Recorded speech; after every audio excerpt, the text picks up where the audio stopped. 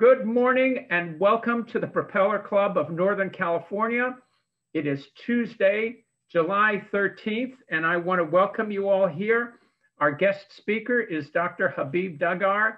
He is the director of the Marine of the University of Maine's Advanced Structures and Composite Centers, and he launched the first floating offshore wind turbine back in 2013 and he is going to brief us on his latest adventures in the uh, Gulf of Maine, and he is about to launch uh, two serious uh, uh wind turbines. One or one or two, Habib. One. Okay, very Just good. One, yep. Just one. And the relevance of the floating wind turbine is that it is suitable for waters off the coast of California and we will be hearing from uh, Larry Oetker at the uh, uh, port of Humboldt Bay, who is visiting us from Eureka, and he's going to give us a little bit of an update about all of the millions of dollars he's been receiving to go and build an offshore wind port. So, Larry, welcome. We'll hear from you in a second. Um, and uh, what I want to do is go through the introductions first. And uh, I think we are mostly here and I will start with uh, uh, Todd Crawshaw. Good morning, Todd. Morning.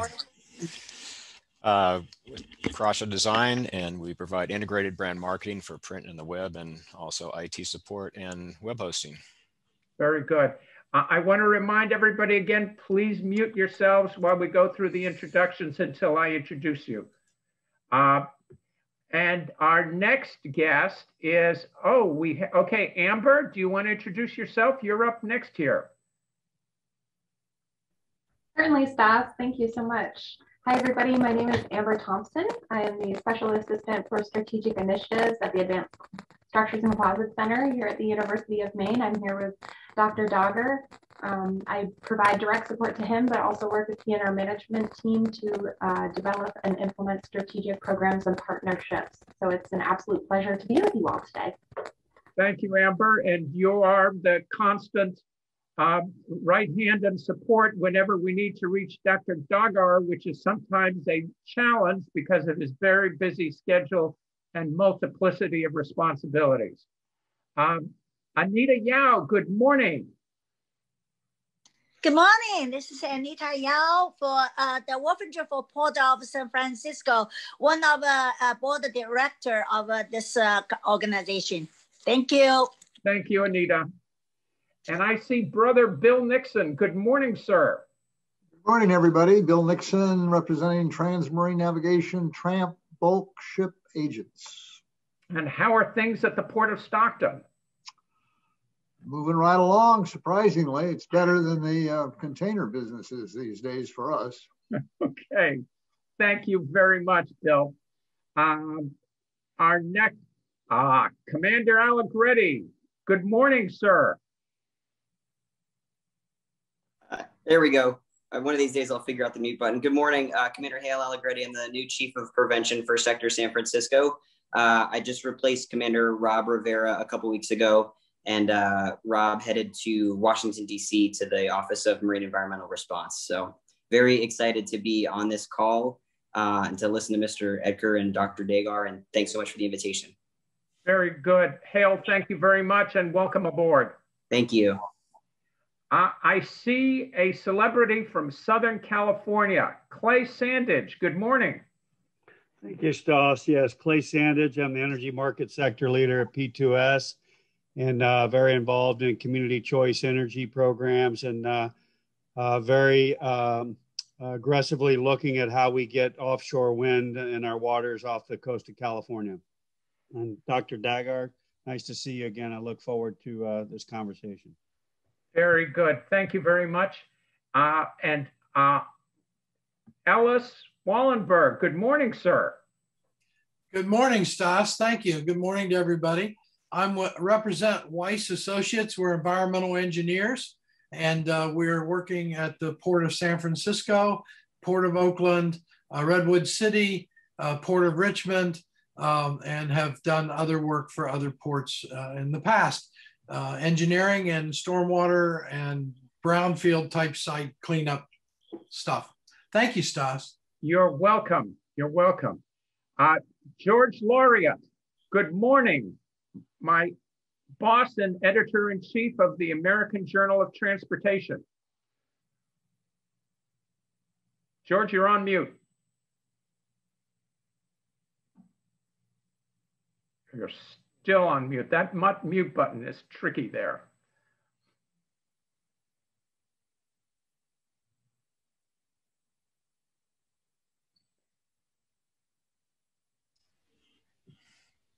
George, I'm going to come back to you in just a second. Let me get uh, Dr. Dr. Dagher, and if you, oh, there you are. You're unmuted. Go ahead. Okay. Can you hear me now? Yes, I can. Okay. Yeah, I'm, uh, thank you for having me. I'm, I'm, looking forward to this. And you are? You are. Yes, I am. George Lauriat, editor in chief, American Journal of Transportation. Good morning, George. Again, thanks. okay. Take care, buddy. Okay. Uh, Dr. Dagher, good morning. You need to unmute yourself, Habib. Good morning and good afternoon from Maine. It's about two in the afternoon in, uh, in the great state of Maine, and uh, we're as far from from uh, California as, as as we can be. But right behind me, you see a beautiful Maine lighthouse, and uh, and right uh, on the other side, you see a floating wind turbine off the lighthouse that we put out there in 2013. So uh, uh, I'm at the, I work at the University of Maine and, and I uh, run the composite center at the university. Looking forward to talk to you about what we're doing in Maine, floating wind technologies. Thank you very much, Habib. Uh, Kevin Policarpo, good morning, sir. Morning, Stas. How are you? Okay, and you are a student at Santa Rosa Junior College, if I'm correct? That's correct. Okay, good morning. Uh, Kim Arrive, good morning, Kim.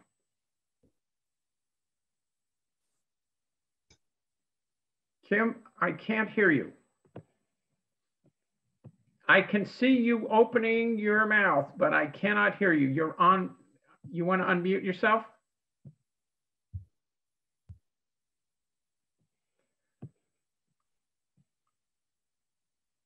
Uh, okay. Uh, Kim, uh, I can't hear you. When you come back on, we will introduce you. Uh, Larry Oetker. Larry, good morning from Eureka. Good morning. I'm Larry Oetker. I'm the executive director of the Humboldt Bay Harbor District, which operates the port of Humboldt uh, Bay, and I'll give you an overview in a minute. Very good, Larry, and we'll be hearing from you in a moment. Uh, Matt Wartian. Matt, good morning.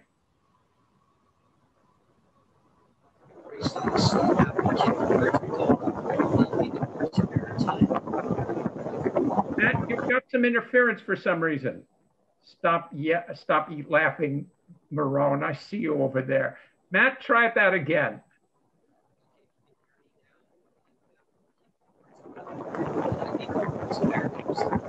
Okay, thank you very much, Matt. Uh, and Matthew Lankowski. Good morning, Matthew. Yeah, hi Stas. Yeah, thank you for having me. Um, I'm I'm here with the dual purpose. I, I work for Glosten up in Seattle. Um, we have our own uh, interest in offshore floating wind. Developed the PelaStar Floating Foundation, and and in part of that development, we actually work with um, with uh, Dr. Dagher and University of Maine. This was back in the early 2010s, and I actually that's how I found my job because I interned with um, Dr. Dagher at the Composite Center and had a great internship there. I'm also uh, born and raised in Maine, and and so um, many reasons to be here today. Thanks for having me. Oh, great. That's good. And I'm, I'm interested to hear that. Kim Arrive, you are unmuted, sir. Yes, I am. Thank you. That was challenging. Um, as a uh, Cal Maritime graduate, I congratulate the maniacs.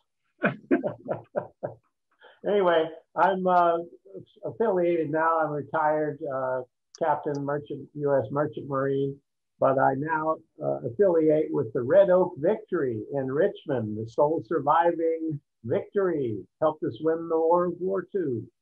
And are you open for business? Yes, Tuesday, Thursday. Very good.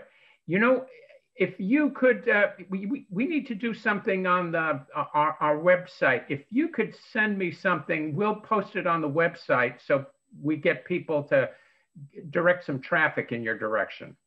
That would be great. Thank you. I appreciate it. Okay, thank you very much, uh, Kim. Ah, and we have another celebrity from Southern California, the Honorable Stella Ursua. Good morning, Stella. Oh, hi, Stas. How you doing? My name's Stella Ursua. I'm the partnerships manager from Grid Alternatives, and we have offices throughout uh, California. I'm stationed in LA, but very interested in um, uh, wind, and we're doing a lot of solar and battery storage projects now. We have a huge workforce development project. So I'm always interested in learning more about some potential projects that we might connect with. Thank you for inviting me, Stas. Okay, Stella, thank you very much. I'm the Honorable Nicholas Marone. Good morning, sir. Good morning, everybody, and thank you, Stas. It's such a pleasure to see you, and uh, thank you, everybody, for joining us on this uh, very informative day. Uh, I represent the Seafarers International Union, uh, supplying professional seafarers for the last 85 years. Um, I'm hoping to do it for another 85. Thank you. Very good.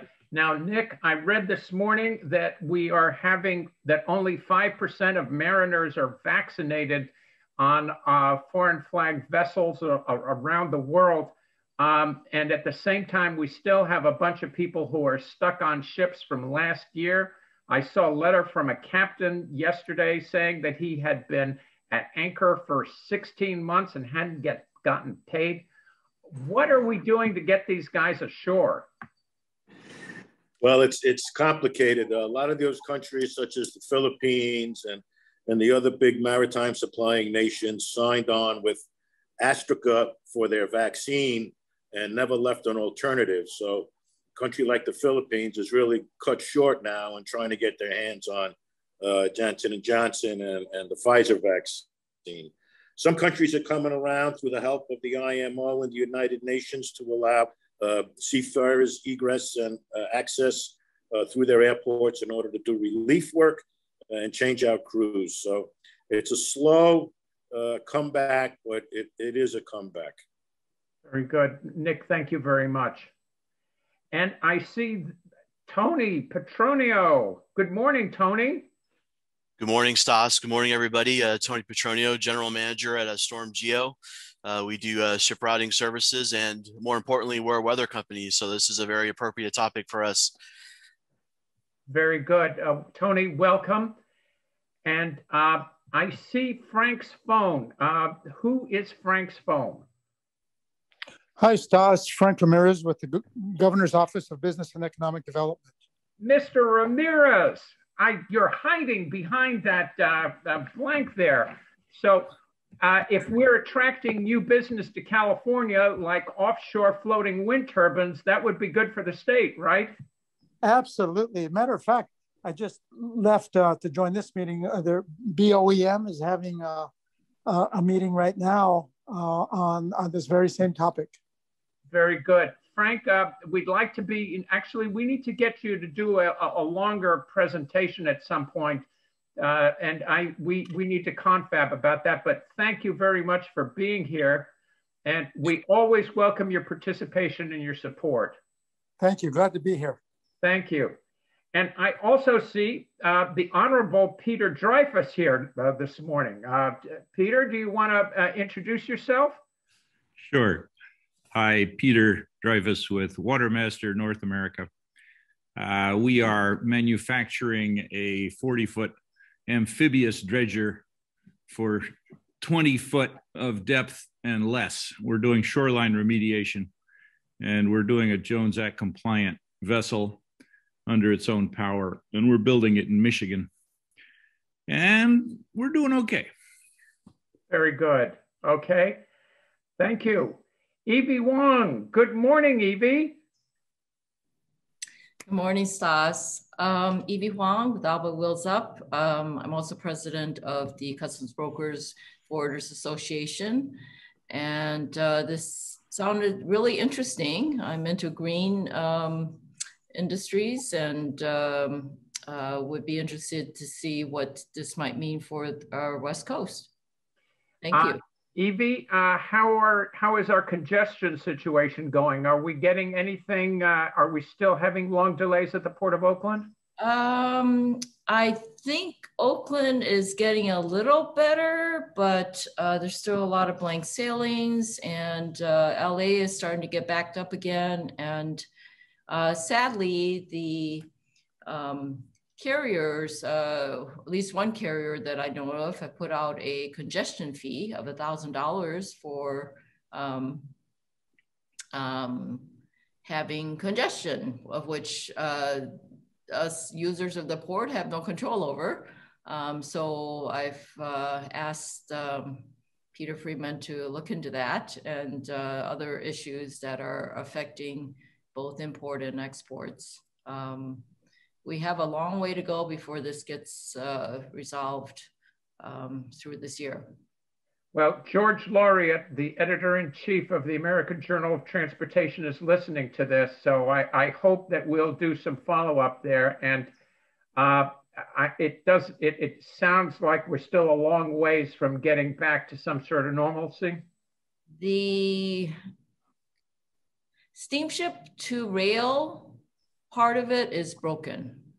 Um, Stas, we've talked at length about rail and it's just broken. So um, my last call, and I don't want to take up too much time, but um, basically the carrier um, took some freight off and basically said, we're going to drop it here. You figure out how to get it inland. Jeez. So the irresponsibility of that, that is um, of a service provider uh, it is not acceptable, but there we are. So anyway, I do not want to digress from, from this, but um, it is a ongoing sore point. Um, so, yeah. Evie, I, I, would like us to follow up uh, with a, uh, uh, a presentation in the fall about how these supply chain issues are impacting us, uh, both as exporters and importers. And I think we need to hear some of the things that you and your colleagues are seeing. Uh, and I will get back to you because we need to do something and get this out. I mean, this is going on and it doesn't seem to be getting it's any better. It's not getting any better. It's getting worse. So, yeah. Uh, okay, Evie, thank you very thank much. You for the diversion today. I'm sorry? Oh, good. we appreciate that. Um, and now, last but not least, I believe I see somebody named Dennis, who I believe is Mr. Dennis Dysinger. Dennis, is that you? It is, Stas. Uh, having a good day today. Um, Dennis Dysinger with Mare Island Dry Dock, and uh, I've been following the the offshore wind for a while. And uh, coming to this coast, we believe our facility would uh, would be a prime for helping service the offshore vessels. So I'm very interested to, to seeing this industry build and, and giving us a new uh, uh, new customers. Very good. Uh, Dennis, thank you very much. And thank you for your support from uh, Mare Island Dry Dock.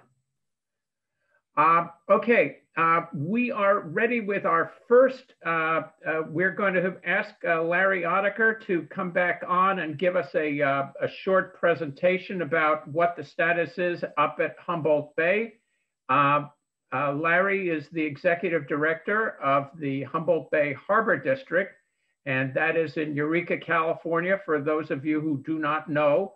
And a very exciting development. Um, uh, the port has been awarded a considerable sum of uh, federal grants to build up an offshore wind port.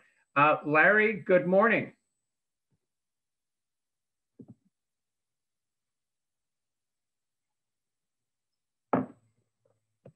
Larry, I cannot hear you.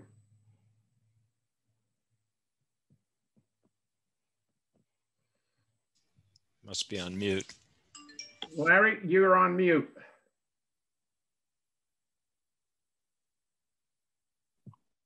Okay, sorry about that.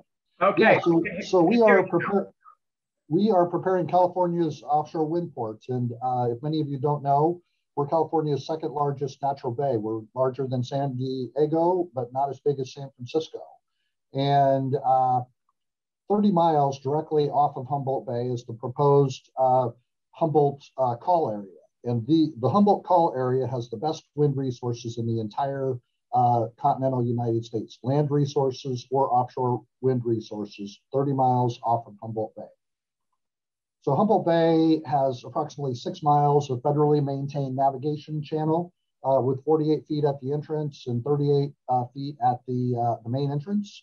And so we basically worked to put together a conceptual master plan uh, for about 170 acres of uh, for a proposed offshore wind terminal where you could do the assembly, you could do the full, um, assemble them fully upright. We have no overhead obstructions. You could also do a manufacturing facility uh, within the port uh, and basically feed the entire uh, system that we looked at. And so we're centrally located uh, right between all the way up from Washington to San Diego, right in the very middle. And we have hundreds of acres of vacant and underutilized coastal dependent uh, lands with no air draft restrictions. And so we think we're uniquely situated for the offshore wind industry. And so we really want to thank the Biden administration, Newsom, Governor Newsom, and uh, the California Natural Resource and Energy Commission, you know, for their leadership. In the governor's budget, they appropriated 10.4 million for the port to assist us to develop a new offshore wind uh, terminal. We've also received EPA brownfield funding, and we're looking to submit a grant to the Port Infrastructure Development Program uh, in July of this year. So literally within the next two months, we're submitting a grant to develop this new port infrastructure uh, grant. And the state basically says that we have to uh, spend this money by June of 2024. And so we're we're moving this thing forward. We're not sitting on our hands. We're moving this thing forward. And BOEM is saying they're going to issue the lease off of the Humboldt and Central Coast in early 2022. That was the agreement between the Biden administration and Governor Newsom, and they're uh, actively working on that right now. There's a AB 525 in the legislature that says by March they're supposed to give a report to the legislature on workforce, supply chains, ports, and, and other needs.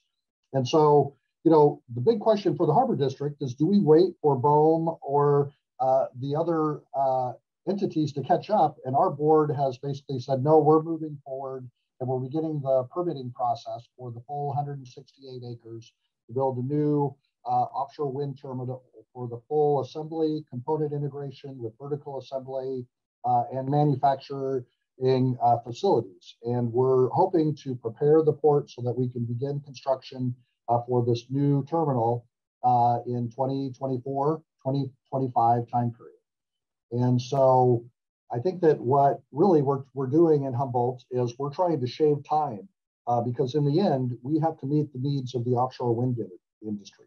When BOEM, uh, it's a significant investment that the industry wants to do. And so we're working with a broad spectrum of organizations uh, to prepare the Port of Humboldt. And so thank you for your time. I really appreciate it.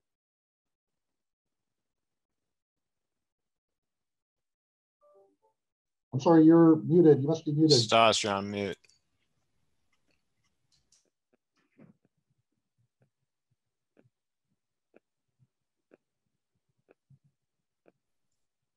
Mr. Stas, you're on mute. Got it. Sorry about that. I pushed the wrong button too. Now Nick is really going to laugh. Uh, okay, Larry, thank you very much. I have a quick question. You're going to need how many people working up there? Uh, well, we just completed a uh, economic analysis, uh, and um, you know the, the the, the workforce shows that just for the port facilities, we're going to need uh, a couple of thousand people just for the construction uh, of the port facilities. And um, really within the larger statewide organizations, because obviously not everything will occur in Humboldt, there'll be in some of the other ports, uh, uh some of the components, you know, they're saying up to 14,000 jobs associated with this uh, for the state of California. Very good. Larry, thank you very much for this uh, update and uh, very good luck to you as you go along. It, this is going to be an ongoing story and uh, a, a, real sharp, good and hopefully a long-term shot in the arm for the economy of the uh, North, Northern California and Humboldt Bay. Uh, I want to now introduce our speaker, Habib Dagher. Uh, Habib is a pioneer in the floating offshore uh, wind business for the United States. Uh, he's been involved in every aspect of uh, the design and operation and implementation. And uh, we have been uh, acquaintances and friends uh, for almost 10 years. Uh, he's been out in California visiting ports, hosted in part by Clay Sandage. We met with the ports of Los Angeles and Long Beach, thanks to Clay.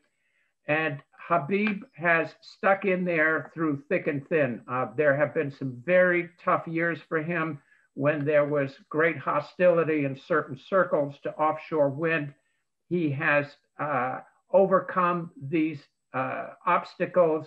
He has continued to do the kind of first rate work that he's done. Uh, in fact, uh, the department is also involved in uh, other issues using concrete and uh, composite materials, including something called a bridge in a backpack. And his department recently uh, built a patrol boat, an 89 foot patrol boat, uh, using a 3D printing process.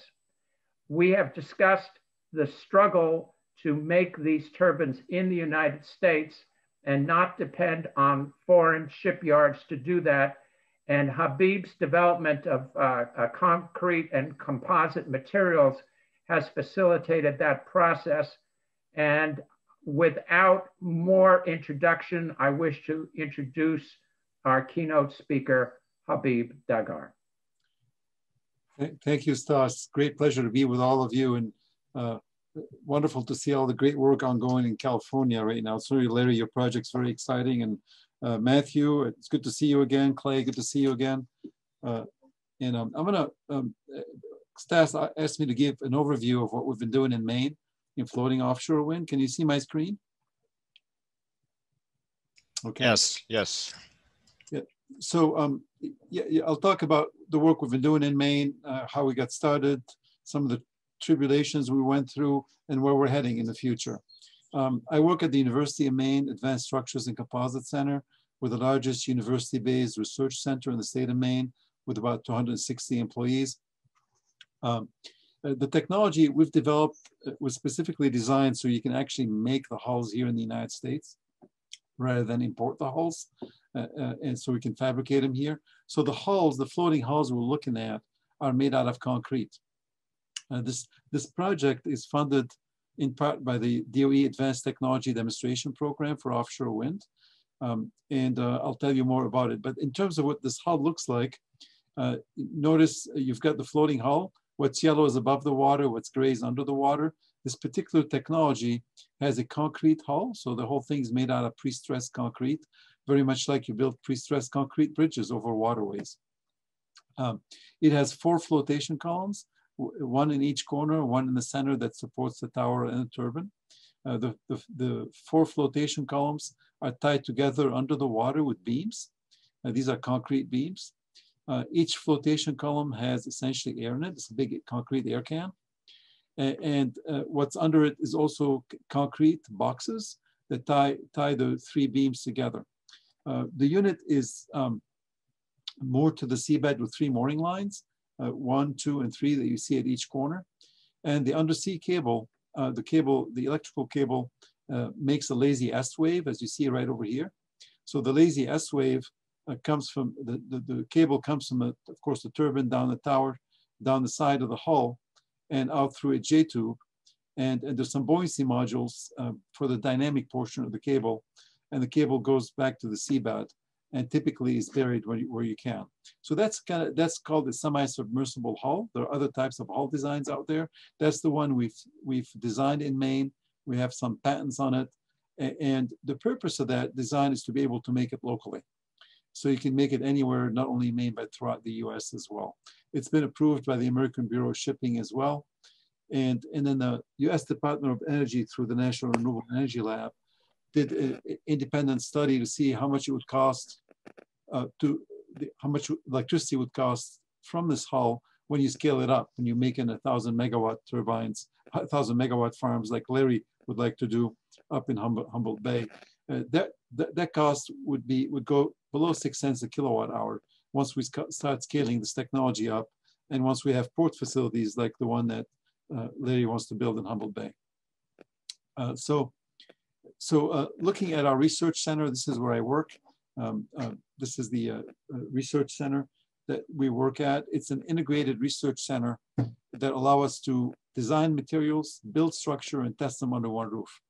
I'll show you inside the lab a little bit. Here's an example of some of the testing we do in the lab. This is a wind blade being tested uh, in our laboratory. That's a 160 foot blade being tested. Notice the blade tip is about to touch the ceiling and the floor. Uh, and we have one actuator at, at the bottom that's uh, moving the whole thing using we, um, uh, resonant fatigue testing. So we do that working with turbine suppliers to um, verify their designs or to develop new types of wind blade designs that would hold up. Um, inside our lab, we also have an offshore wind laboratory. It's an ocean engineering lab. Uh, there's a lot of wave basins, as you know, uh, in your business uh, across the country. There's a lot of wind tunnels across the country, but nobody's put the two together yet. So we're the very first to do that. So we put a wind tunnel on top of a wave basin in order for us to be able to test floating wind turbine designs. And, uh, and that's a floating wind turbine uh, in front of um, uh, our, our laboratory. notice the kind of waves we can create in the laboratory, but also the wind regime that we can create allows us to change wind speed with height. So we can actually model the speed increasing of the wave, uh, wind with height, change the wind directions. Uh, and we typically test uh, um, products at 150 scale. So it's like a big physics experiment we scale everything down to figure out what happens in extreme storms in the laboratory. Uh, there's a lot going on on the East Coast. This is a chart uh, about the, uh, the other coast, if you wish. the, there's what you see in orange are the different projects being planned on the east coast of the US. As you know, President Biden uh, announced a plan here a couple of months ago of 30 gigawatts of offshore wind by 2030 along the east coast. Um, and uh, some of the states are moving forward quickly. Uh, uh are Massachusetts with um, uh, 800 megawatt uh, projects already in the pipeline. And New York has 9,000 megawatts as well of, of a plan for 9,000 megawatts. New Jersey, 7,500 megawatts. What you see in orange are the size of those uh, planned projects. Um, so the bigger the orange, the bigger the project is. Uh, our project off the coast of Maine I'll be talking about is called New England Aquaventus 1. It's the, it's the only pro floating project on the East Coast right now because Maine has deep waters off of its coast.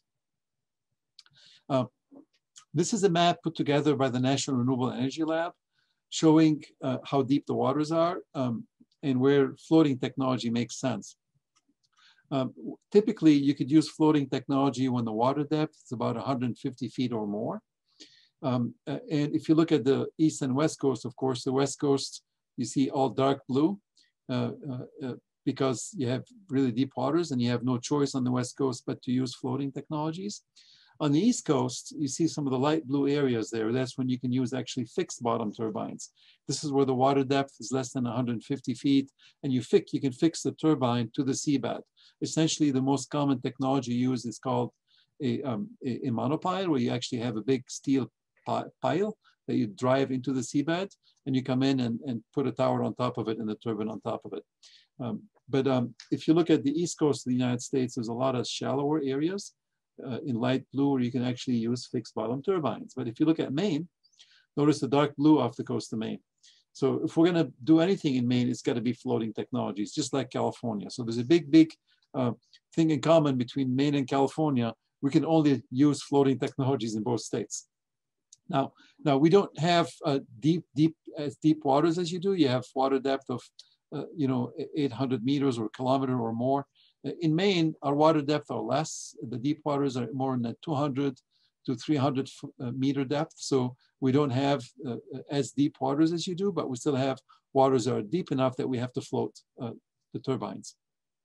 Uh, the, um, uh, in, in, Maine, the reason we'll get into this is, if you recall, um, about 13 years ago, fossil fuel prices, gasoline prices went up to $4 a gallon. You remember those days? four dollars a gallon days. Uh, how many of you believe we're not going to go there again? okay, it's just a matter of time, right? So, so, so the state of Maine was in crisis mode because not only do we use gasoline, but in Maine we use heating oil to heat our homes. And um, we were spending, uh, the average family in Maine was spending close to $10,000 a year between heating oil and gasoline and electricity. Most of it is heating oil and gasoline. So, uh, so it was not sustainable for Maine. For Maine, there was a big concern that many small Maine communities would have to actually empty out because you can't afford to heat your homes anymore. Um, and uh, so we started a, a, floating offshore wind program about 14 years ago in the state of Maine. Um, and and we, we put a plan together, a very ambitious plan at the time, um, about a decade ago, that calls for um, using 3% of the offshore wind resource in the state of Maine in order for us to electrify heating and transportation. That means eventually one of those days we'll all be driving electric cars and using our home, heating our homes using electrical heat pumps. In your case, you'd be cooling them using electric heat pumps, but in Maine would be heating them using electric heat pumps. So what we, we calculated that if we actually um, harness five gigawatts of offshore wind, we can heat every home and drive every car in the state of Maine with five gigawatts of offshore wind. And that's about 3% of the offshore wind resource within 50 miles of the coast of Maine. So it doesn't take a lot, just 3% of that offshore wind area off the coast of Maine is enough to heat every home and drive every car. So we, we embarked on this plan. And uh, now how do you float a wind turbine? There's a lot of different designs for floating wind turbines. And, and many of you are familiar with those if you're in the oil and gas business. A lot of the floating wind turbine designs actually came from the oil and gas industry.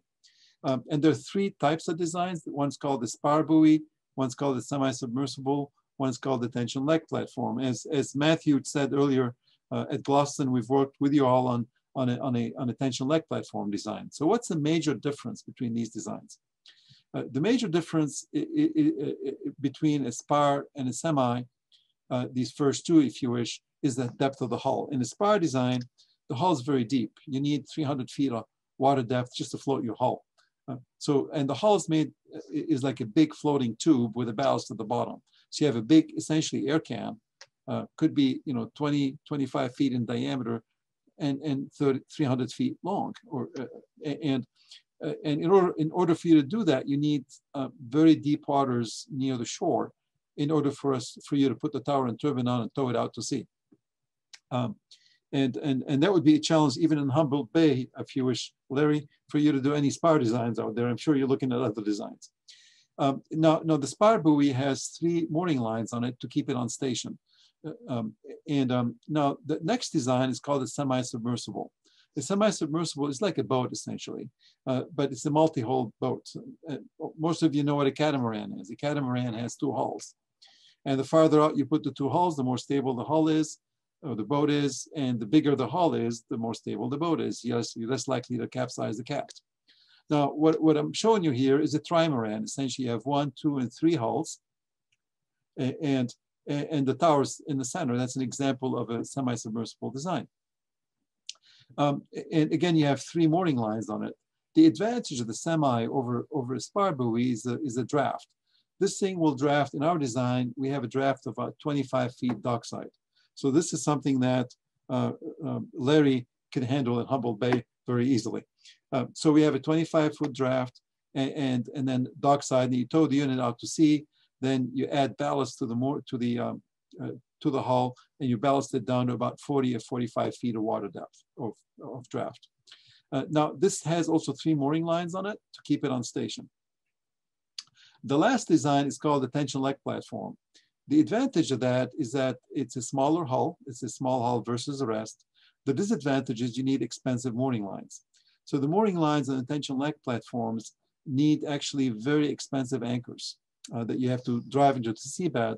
And, and the way the, the, the tension leg platform works, it's like a buoy that wants to pop out of the water, but you have three tension legs that keep it keep it under the water.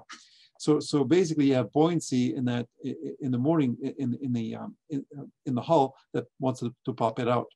Uh, the the disadvantage of that is when you go to California, when you have 800, 900 meters of water depth or 1,000 meters of water depth, you couldn't afford to build a tension leg platform because of the flexibility of the mooring line. You'd have a very think think about an you know a, a you know 3,000 foot long mooring line uh, uh, that's that that's very stiff uh, you can't make it very stiff. it has to be, it becomes very big and very expensive. And you need also uh, expensive anchors for that. So the hull on a tension leg platform is less expensive than the hull on a semi-submersible. But by the time you add very long mooring lines and anchors, uh, and then then depending on the on the on the site site, you might end up being uh, less expensive with a semi than with a tension leg platform. Um, so back back in in 2013, we built a one to eight scale version of our floating turbine, and and uh, this is what it looks like um, at, at, the time. It's version 1.0, and launched it uh, off the coast of Maine. You could see the hull being towed out to sea using a Maine Maritime uh, vessel, actually. We partnered with Maine Maritime Academy and towed it out to sea. And then we towed it to Castine, Maine. In Castine, we had three steel chain mooring lines buoyed on top and an electrical cable installed and buoyed. And we hooked it up. This is what it looked like when it was hooked up. We had an undersea cable that went back to shore. And, and that's what it looked like when it when the first storm arrived off the Gulf, the, the coast of Maine. This was in December 2015. It was called Winter Storm Electra. Uh, and, and you can see here what's blown across is snow. This is not, not cloud, that's snow. And, and you can see the, the size of the whitecaps uh, on the water.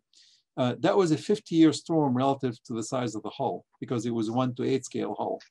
And, and, um, and a, a 50 year wave in the Gulf of Maine from peak to trough is about a 60 foot high wave. So this thing is seeing relative to its size 60 foot high waves. Uh, and you can't see it move, right? Okay, so that's the key to the design is designing the hull that's not activated by the wave environment. And the key to do that is develop a pitch, um, uh, develop um, a, a, um, uh, uh, periods of motion for the hull that are outside the wave energy excitation range. Our pitch uh, uh, um, and, and periods are, are over 25 seconds. and, and the maximum waves we see in the Gulf of Maine have about 17 to 20 second periods, so they don't activate the hull. So that being a successful program, the next step of our project is to build a bigger unit. So we're building a, a 11 megawatt uh, uh, class hull um, uh, right now. Um, and, and we've got the Department of Energy funding part of that.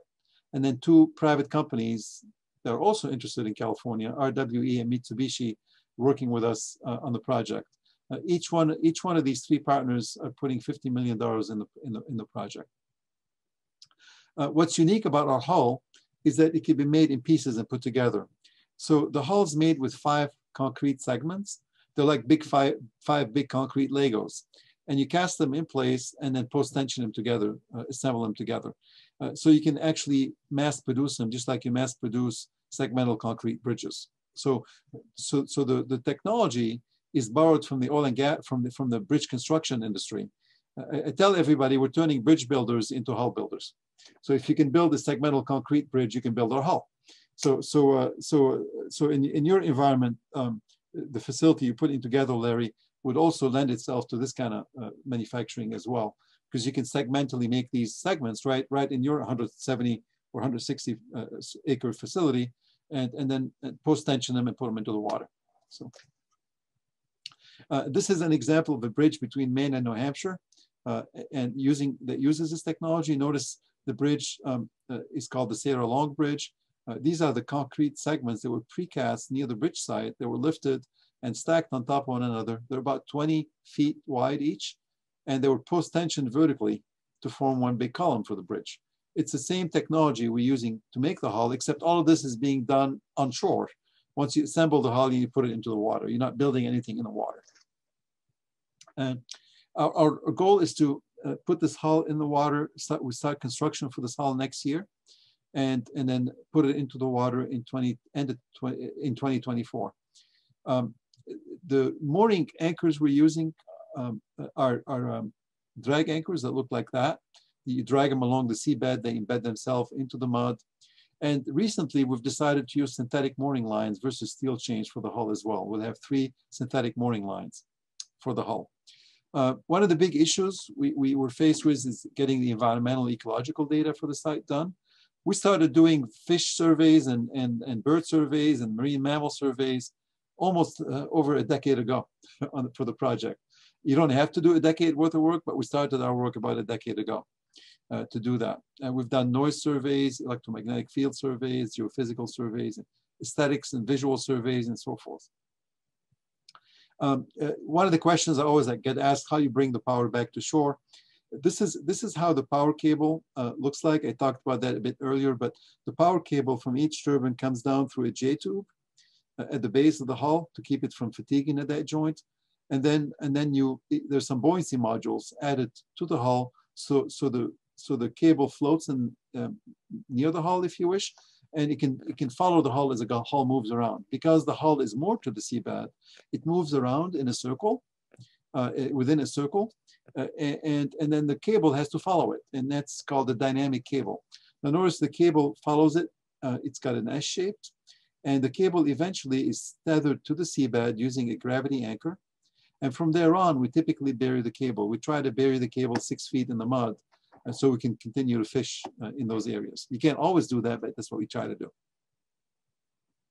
Um, it, it, we've we've had these cables in the Gulf of Maine to uh, to power islands for a long time, and uh, here's an example of a cable that was installed in 1955 in Maine between Islesboro uh, and the mainland to power Islesboro. So uh, this is our cable we plan to use for our single unit from Monhegan Island, where our project is. It's about 14 miles offshore. And we're gonna bring the cable back to shore in state waters and plug it in uh, to Boothbay Harbor in Maine. The cable is about, it's gonna be between six and eight inch in diameter for that 11 megawatt unit. Uh, and this is the cable survey, survey we've done in April uh, of last year to identify what the seabed looks like. And notice here in dark brown are actually outcrops of rocks. We can't, we don't want to bury the cable there. Initially, the cable was going to go through. That was the initial cable route that we had. That was we estimated on paper first, and we now did the survey, and and then now we're rerouting the cable around the obstruction so we can bury it uh, to the extent that we can. We had to work with the fishermen quite a bit to do the survey, and and we had we had to send a mailer to 1,200 fishermen to do the survey, and even that, even then, there was uh, there was a um, uh, there was some uh, issues with fishermen uh, and, uh, about the cable, about about the, particularly the cable, and I'm sure that's issues that you'll be facing with uh, in in California as well. we have we're working very closely with the fishermen. We have a lot of respect for them, and that's why we're trying to bury the cable so that we minimize impact on the fisheries. Of course, we're not going to be able to bury it everywhere, but we're trying to bury it whenever we can. That's why we're running these surveys. Uh, to give you a sense of the mooring lines and anchors, you, will be facing that in California. Do you use steel chain mooring lines or do you use synthetic mooring lines? Uh, we, we, decided to go to synthetics for our project. That decision was made over the last month. Um, and that's what a single chain in a steel chain mooring line looks like. So they're not tiny, as, as you might imagine. And that's what a, a, a, uh, synthetic mooring line looks like next to a six foot human being. Um, and that's a six inch diameter piece of steel that's bent into that shape to make one link in that chain. So imagine if you had, uh, if you have, uh, you know, 3,000 feet of water depth or 2,400 feet of water depth, you're gonna have three of these mooring lines, each with, with chains like that. It gets pretty heavy, doesn't it? Okay, so so you, you may want to be looking at um, you know synthetic mooring lines as well because they're about 120th the weight of a steel chain. So we're going in that direction, at least uh, in Maine. Uh, uh, so here's our schedule in Maine. As I said, in 2013, we put a one to eight scale floating turbine off Monhegan Island, uh, off uh, Castine, Maine. In 2023, 24, we're going to put an 11 megawatt demonstrator. In 2025, we're going to do a 12 turbine array. And then eventually by the end of the 2020s, which is, coincides with your schedules in California, we're going to go to commercial farms larger commercial farms. Now, uh, now that's a bit of uh, crawl before you walk, walk before you run approach that we, are employing in the state of Maine. And if you ask me what's the biggest challenge you've had is really, it's not technical, it's really uh, outreach with the fishing industry. That was our biggest challenge in the state of Maine. Uh, and uh, I'm sure we'll be comparing notes as time progresses. Actually, tomorrow, I'll be giving a talk as part of the California um, uh, uh, uh, conferences on, on offshore wind as well. So, um, and I know um, I'd like to close with this because um, Stas said we printed a boat in Maine uh, using a 3D printer, and I figured I'd show you that. Uh, we actually, this was a 50, uh, 25 foot vessel, 5,000 pound that we printed in three days. It's a, it's a tri-hull vessel. It's got a center hull and, and, two hulls. We printed that using um, our printer at the university. It's the largest uh, polymer printer in the world. Um, so we started printing this boat on, um, on, on, Thursday night at 10 o'clock at night. We finished on Sunday night at 10.15 p.m. That's September 19th through 22nd. This is a um, the, the 3D printer printing the boat. Um, and uh, this is, of course, three days scrunched up in, in one minute for you to look at it, but this is how we printed the boat. Um, and um, and uh, and uh, anyway, we're working right now on printing a mold for a crew transfer vessel um, uh, project that's going to be about 60 feet as well. Anyway, uh, I know Stas, you want me to show that, and that's the end of my talk. Thank you. Habib, thank you very much. Uh, this is very interesting. You've made a lot of progress. Um, you, uh, I, I, have a quick question. Uh, you made a reference to six cents per kilowatt hour. Is that a goal over a period of time? Yes, indeed. I'm going to um, stop sharing so I can see you all a little bit better. The answer is yes. I mean, six cents a kilowatt is a very aggressive goal. Uh, there's been a number of studies done on the cost of floating offshore wind. Um, and, and, those studies, whether you're in Europe or in the US, whether you're an, NREL, National Renewable Energy Lab, or you're one of the California labs, people have been kind of focusing on six cents a kilowatt hour, if you wish, as being the cost of floating. But that's not going to happen until we, we have facilities like Larry's trying to build unless Larry builds a facility like this, none of us are getting it to six cents a kilowatt hour. So, so, so they're buried in that six cents a kilowatt hour uh, number is is uh, the the cost of of Larry's facility that needs to kind of get built first before we can get to those numbers, and and facilities like Larry gets need to get humming. Okay, before before we can get down to six cents a kilowatt hour. So you really got to get to the fourth factory model that Larry's looking at to, to build so that we can get those costs down. So thank you. Thank you very much. Um, George Lauriat, do you have a question?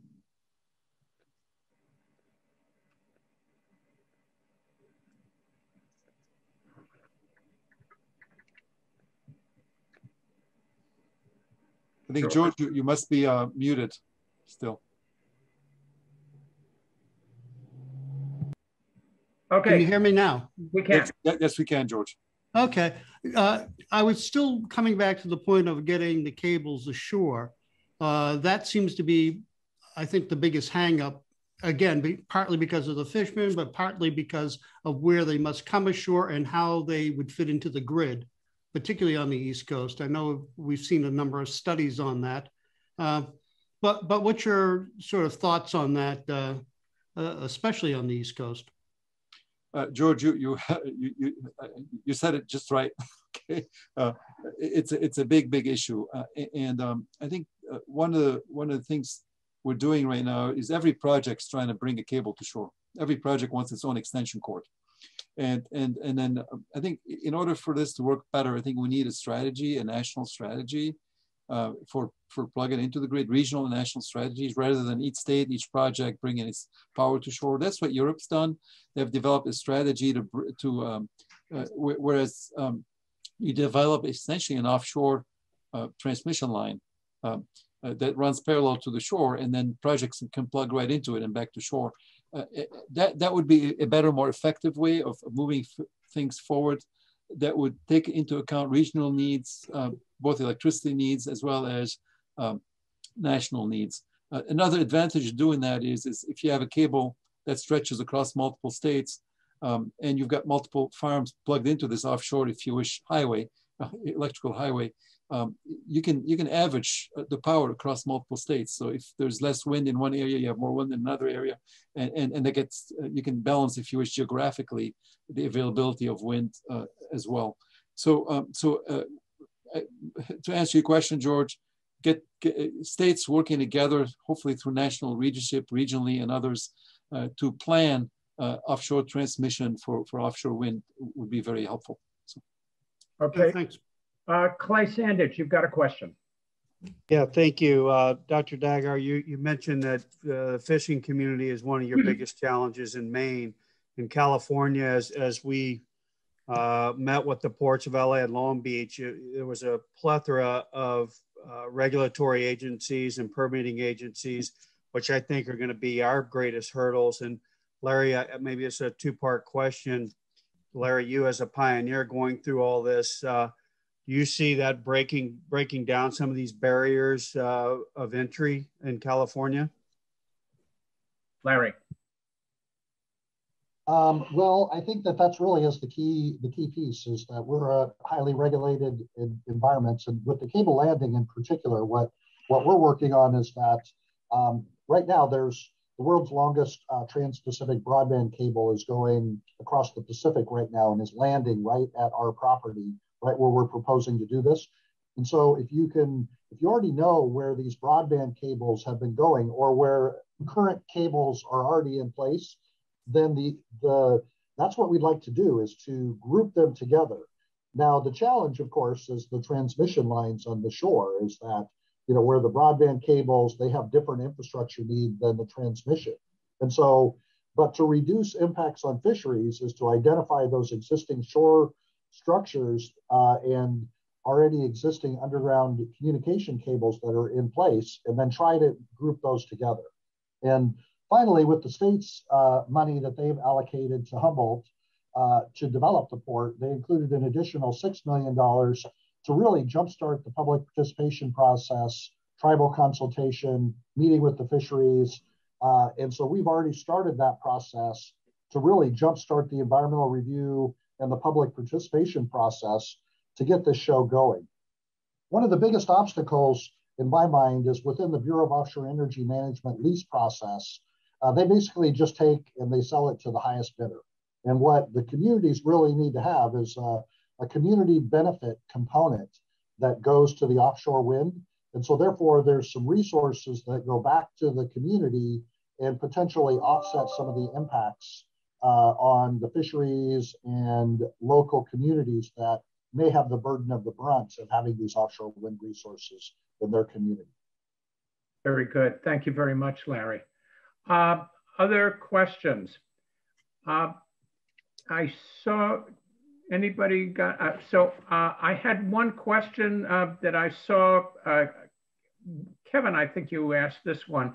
Uh, are, do, do we have an idea of how strong, I mean, big rogue waves of, you know, we're starting to see on, on the marine side, rogue waves are starting to show up more, either because we're more aware of them or because they're out there. Uh, have you taken into account the threat of rogue waves hitting these turbines? And uh, if so, uh, what? How do you defend against them? Um, yes, uh, so the the the um, the design it, it follows ABS standards. There's a standard that ABS put together, a document called the uh, Floating Offshore Wind um, uh, Design Document. So ABS had put together uh, design criteria for these uh, for these farms, if you wish, and those include 500-year um, waves, um, and um, for designing the mooring system, for example. And uh, to give you a sense of scale, the 500-year wave is 70 feet high from peak to trough in the Gulf of Maine. So we're designing already for those with a safety factor on top of that. It just so turns out that, um, you know, if you have tsunami type waves and other type waves, um, uh, they're actually not as bad as, as, as those 500 year waves we're already designing for. Um, at least in the Gulf of Maine, I can't tell you what it would be like in, in the California environment, but certainly in the Gulf of Maine, those were the controlling uh, waves. And actually the conditions that control the design are not necessarily that. The mooring line, the mooring system is controlled by 500 year waves, but the actual hull design is controlled by combinations, 50 year events of winds and wave coming together. So, uh, so that's, that's what uh, controls the design of the hull versus uh, yeah. So we, we're comfortable with where we are with our designs, if you wish, and uh, that we, we, we're not going to have a, a, a, rogue wave coming in and taking the unit down. But, uh, but certainly these things need to be looked at uh, in, in any design that you do. So. Um, and Habib, uh, you referenced the transmission line situation, and uh, we recalled the Atlantic Wind Connection challenges of, uh, of a decade ago.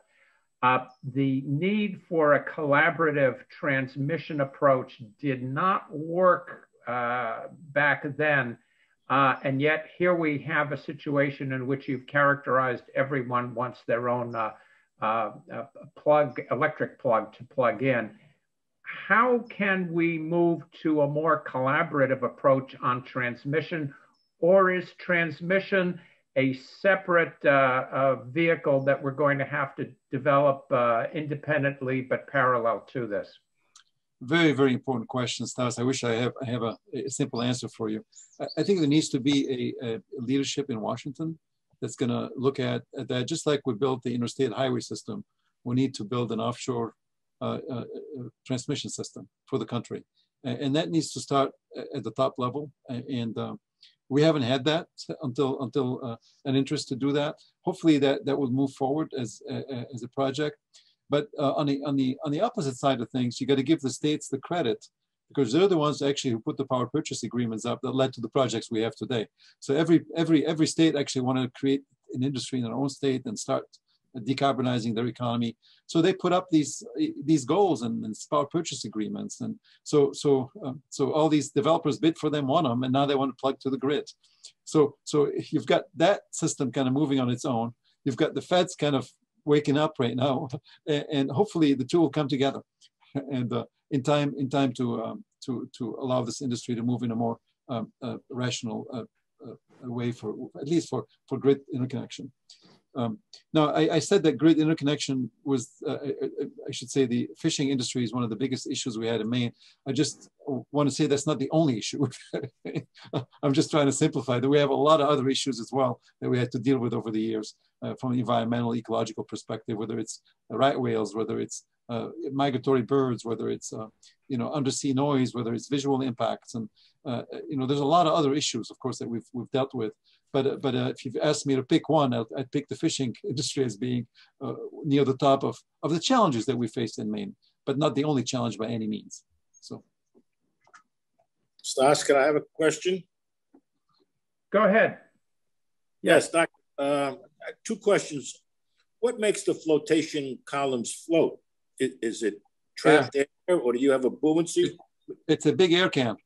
It's a big air can. It's all just trapped made out of concrete. Now think about an air can instead of being you know three feet in diameter or whatever it is. Think about a 120 foot high by 40 foot diameter cylinder that's full of air. Okay. And, that, and what's the life expectancy of the uh, of the flotation columns? Yeah, the, the hull itself. We've designed our hulls in Maine for a 100 year life. Um, uh, using segmental concrete construction because concrete is force tension and and we've got um, a long history in segmental concrete bridges that we've, we've been able to build on, if you wish. So we've designed for a 100-year life, which means every uh, every 25 years or so, when, when the turbine needs to be replaced, you can potentially throw the hull back, put a new turbine on, and throw it back out. Uh, so that's the way we've designed the hull systems, which reduces the environmental footprint of the hull significantly. Uh, if you have two, two lives, then you've reduced your carbon footprint for the hull by a factor of two. If you have three lives for the hull, you've reduced the, the carbon footprint by a factor of three. So we're shooting for four lives for the hull. Okay, a typical steel hull would have about a 25 year life. And uh, so we're shooting for, for a 100 year life, which is four, four typical lives, maybe three if you push the steel to 30 years. But, but, uh, but, uh, but three to four lifespans is what we're shooting for versus a traditional hull design. So, Thank you. Thank sure. you. Um, uh, Habib, how do, do we have the human resources in terms of engineering skills, in terms of uh, technical skills? I know you've said that we're borrowing a lot from the oil and gas industry, but we're not, uh, it's still where this is electricity, this is transmission lines, uh, these are floating structures. Uh, there's going to be much more maritime uh, applications here. Uh, people are going to have to go out and maintain those things. Uh, cable laying, uh, uh offshore supply vessels, actual construction, engineering drawings. And, and Larry's talking about having an army out there in Humboldt Bay. Do we have the workforce to get this job done on a large national basis? No, we you know we we uh, let's put it this way we we have the workforce to get the first projects going, if you wish. But if we're going to scale up and do work at, at the scale that we want to, uh, we need to also train a lot of people. Uh, you, we need to train engineers. We need to train um, uh, uh, construction folks. We need to train electrical engineers. We need to train cable laying folks. We need more equipment, more vessels, more O&M vessels that needs to be built and pe train people on them and so forth. So there needs to be a parallel, if you wish. You're building a whole new industry. So yes, you can you can you can feed off the existing industries to a certain extent, but if you really want to scale up quickly, you need you need a whole new workforce, uh, a larger workforce to to to move this forward um, beyond the one or two projects. So very good. Well, uh, that, of course, is a challenge for another day, but it's one that I suspect we're going to be dealing with sooner rather than later.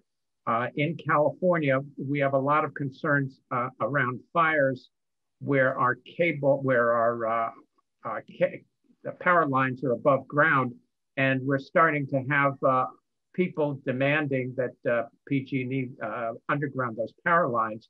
Obviously, having an offshore cable uh, would be an aid to that, wouldn't it? Well, uh, yeah, certainly the, the, big fires you've had are a big issue, but the offshore cable is buried underground, certainly. So if you're taking a cable from a land-based power station to a community, you have a bigger risk because you're right, uh, uh, uh you have more of a, land-based portion that, that can cause some issues. Um, but but but I think the biggest issues we're, we're facing are T and D, and not just transmission but distribution as well. Uh, some of the distribution lines are, are, are, an issue in California. But, but yeah, I think offshore wind, if properly located, can reduce the, maybe the uh, uh, overland uh, transmission lines uh, to, to certain communities. Yeah. Very good. Habib, I want to thank you very much for an excellent presentation and uh, a regal eye opener. And, and Larry, thank you very much for your participation as well.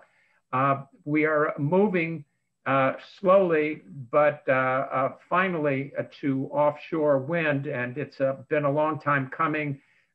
Clay will remember our, our trip with Habib to visit skeptical port directors a long time ago, and it's really good to see that Habib, you're, uh, you've been a prophet uh, who this time uh, has been validated by the course of events. I want to say that we are recording this. Uh, the recording will be made available tomorrow to all the participants. Uh, I've asked uh, Amber if she could send us a copy of your PowerPoint, Habib, uh, so we could get that as well, if that's okay. Um, we're very interested in uh, your progress uh, in Maine, obviously, and hopefully partnering with somebody on the US Pacific coast at a, a future time. Uh, so with that, I want to thank you all for your participation today. Uh, we are off in uh, August. Um, I'm hoping for us to come live maybe in September or October, but uh, the situation is up in the air and uh, the board of directors will have to uh, meet to decide whether we're going to have a live meeting and when we're going to do that. Uh, in September, we will be back and I will uh, uh, post our uh, uh, participants shortly. But in the meantime, I want to thank you all for your time and your energy. Frank Ramirez, if you're there, we need to get this guy out here more often. And uh, Larry, thank you very much. Clay and Stella, thank you for coming from Southern California. the Honorable George Lauriat, my good and loyal friend, thank you very much for being here and uh, for allowing me to cover this industry for 10 years. Hmm. Uh, so with that, I want to thank you all. Uh, we will be back in September and uh, you'll get a notification from me within uh, uh, next couple of weeks. Bye, everyone. Thank Bye -bye. you very much, Toss. Great show today. Nice Thank you. you all. Thank you.